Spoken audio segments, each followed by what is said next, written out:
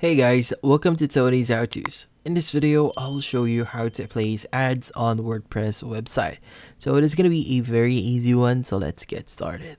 So when we're actually choosing or building our website here, the first thing that we want to do is we want to set up our themes.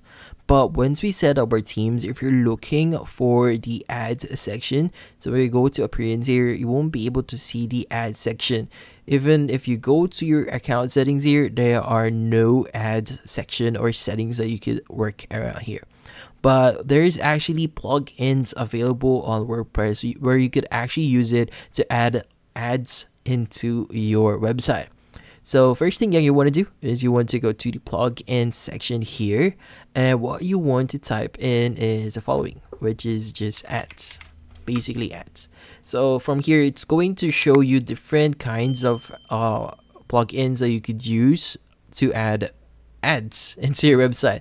So I would suggest you to use the ad inserter here which is a free tool that you could use for this one. So we just click on it and from here you just need to click on upgrade and activate so for in order for you to use ads or to add ads into your website is you have to have a business plan enabled into your account to use the plugins. So here just click on upgrade and activate. It's going to show you how much the monthly uh, fee is and yeah so just uh, go ahead and activate your business plan here and you'll be able to use your plugins so here just install this one.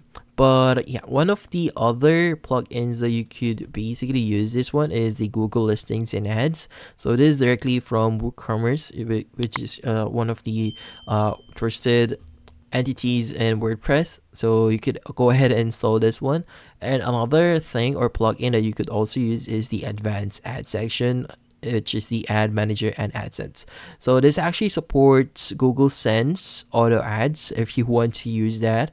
And yeah a lot of other stuff here like also amazon like you customize image banners and you could also have a, a page filter for this one.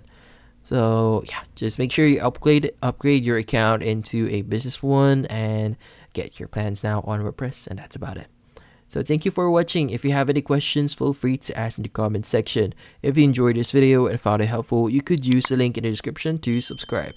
See you in the next video.